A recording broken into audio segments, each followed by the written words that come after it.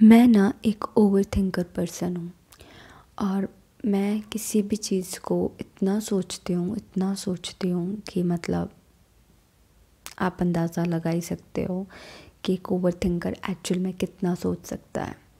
तो मैं ना अपनी लाइफ को बिना मतलब के ही स्ट्रेसफुल बना देती हूँ।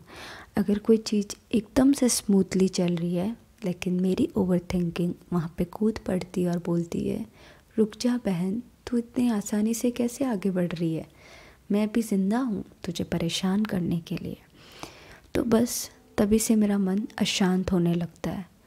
लेकिन मेरे को पता है कि मैं अपने अशांत मन को शांत कर सकती हूँ और उसका एक छोटा सा सल्यूशन है कि मैं बस खुद को वक्त देती हूँ। अगर आप में से भी कई लोग ऐसे होंगे जो यू नो पीजी में रहते होंगे या घर से दूर रहते होंगे या फिर वाइफ हो वाइफ्स होंगी हाउस वाइफ्स होंगे या जो भी। तो स्ट्रेस तो सबकी लाइफ में होता है। तो उसका भी छोटा सा सल्यूशन है कि वो करो जिसमें आपको खुशी मिलती हो। चाहे वो कुछ भी हो सकता है, चाहे वो कुकिंग हो पेंटिंग हो, या फिर कुछ नहीं तो बस यूँ ही बेड पे पड़े रहो। बस खुद को टाइम दो फ़ोन से दूर सोशल मीडिया से दूर। वैसे ही मेरे को ना मेकअप करना बहुत अच्छा लगता है। थोड़ा सा वियर्ड है बट आई लव इट जब भी मैं मेकअप करने बैठती हूँ तो पता ही नहीं चलता है कि टाइम कब निकल गया। मेरा मन अशांत से एकदम शांत होने लगता है। ऐसा फील होता है जैसे मैं एक बहुत अच्छे समुद्र के पास बैठी हूँ। अच्छा हवाएँ चल रही है, इतना शांत होने लगता है। तो बस आज तभी अशांत हुआ, तभी मैंने मम्मी की ड्रेस उठाई और सोचा कि ये पहनते हैं और कुछ ट्राई करते अब मेरे को नहीं पता कि रिज़ल्ट पॉजिटिव निकलेगा कि नेगेटिव निकलेगा। मेकअप अच्छा होगा कि बुरा होगा? क्योंकि मैं कोई प्रोफेशनल तो मेकअप आर्टिस्ट हूँ नहीं कि कभी भी मेकअप करने बैठूँगी तो अच्छा ही होगा। मैंने भी बस थोड़ा इंस्टाग्राम से या फिर थोड़ा यूट्यूब से जुगाड़ में ही मेकअप सीखा है है ना? लेकिन मैं बस स्किल्स अपनी बढ़ाती रहती हूँ और मेरी प्रैक्टिस भी होती रहती है और मेरा मन भी शांत हो जाता है। तो मतलब इस काम से मेरे को सेटिस्फेक्शन भी मिलता है और शांति भी मिलती है और फ़ायदे तो फिर आपको पता ही है कितने सारे हैं। तो कभी कभी ना वो सब करके इतना मज़ा आता है कि मतलब सबसे दूर एक कोने में बैठ जाती हूँ और बस करने लग पड़ती हूँ। तो अभी भी बस मैं करने लग गई और मेरे को नहीं पता कि ये मेकअप या तो बहुत अच्छा निखर के आ सकता है फिर बहुत बुरा। लेकिन जो आप प्रोसेस में होते हो ना तो दिल को बहुत सेटिस्फेक्शन मिलता है। उसी तरीके से अगर आपको कुकिंग अच्छी लगती है तो इस बात से तो बिल्कुल ही मत डरो कि यार मेरे को आती नहीं है। ट्राई करो, भले एक मैगी बना के खा लो, लेकिन आपको एक सेटिस्फेक्शन आएगा कि हाँ यार, मज़ा आ गया। ठीक है? तो अगर मेरे को अगर कभी मौका मिला कि हाँ यार, मैं किसी बड़ी यूनिवर्सिटी से अगर मेकअप सीख रही हूँ तो डेफ़िनेटली उसको हम, उस चांस को हम क्यों गवाए राइट लेकिन जब तक ये मौका नहीं मिलता है, तब तक हम हाथ पे हाथ धरे तो नहीं बैठ सकते ना। बस थोड़ा थोड़ा जुगाड़ होता रहता है, मैं चीज़ें सीखती रहती हूँ और आपके साथ में शेयर करती रहती हूँ। जैसे अगर आप में से भी कई लोग हैं, जिनको मेकअप वीडियोस अच्छे लगते हैं तो आप देख सकते हो, है ना? इससे आपको मेकअप सीखने को मिल जाएगा और मेरा भी थोड़ा सा फ़ायदा हो जाएगा, है ना?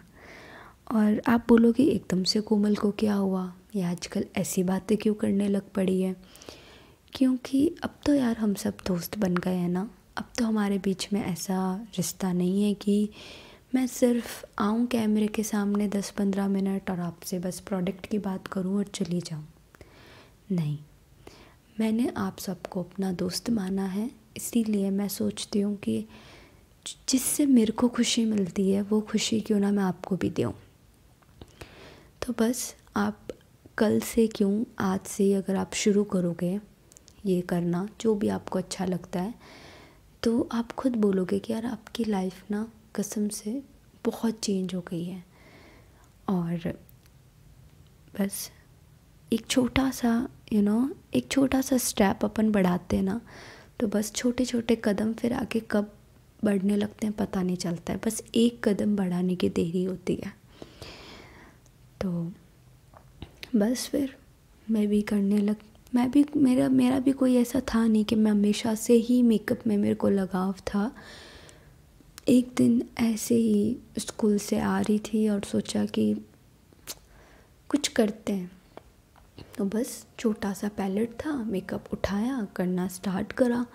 तो इतना मज़ा आया कि अब इतने पैसे भी नहीं है कि यू नो आप भर भर के मेकअप लेना स्टार्ट कर दो।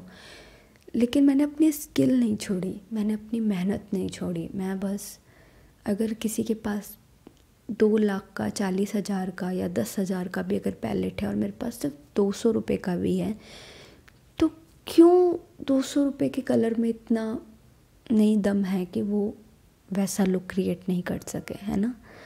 तो बस फिर यही ज़िद थी। इसी ज़िद के कारण मैं थोड़ा थोड़ा सीख पाई हूँ, अभी भी ज़्यादा तो नहीं, लेकिन हाँ। कभी भी कोई चीज़ करने के लिए हमें कोई बड़े प्लेटफॉर्म की ज़रूरत नहीं होती है, ठीक है?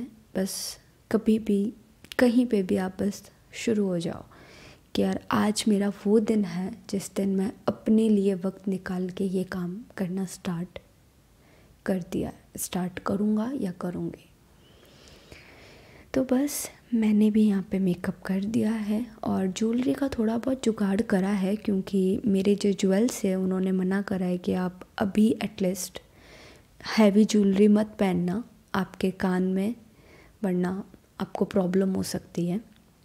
तो इसीलिए बस जितनी भी मेरे से ज्वेलरी जुगाड़ हो पाई, क्योंकि ऑब्वियसली बात है गोल्ड के तो मम्मी हाथ लगाने देगी नहीं, बोलेंगे कि नहीं नहीं बेटा गोल्ड से तुम वास्ता भी दूर रखो। तो बस इसी वजह से जितना भी जुगाड़ हो पाया, उतना मैंने लिया और मैंने ये लुक क्रिएट करा है। अगर आपको ये लुक अच्छा लगाओ तो ठीक है पूरा लगाओ तो भी ठीक है, लेकिन इस प्रोसेस में मज़ा बहुत आया। सो बाय बाय फिर मिलेंगे कल ही मिलेंगे फिर क्यों?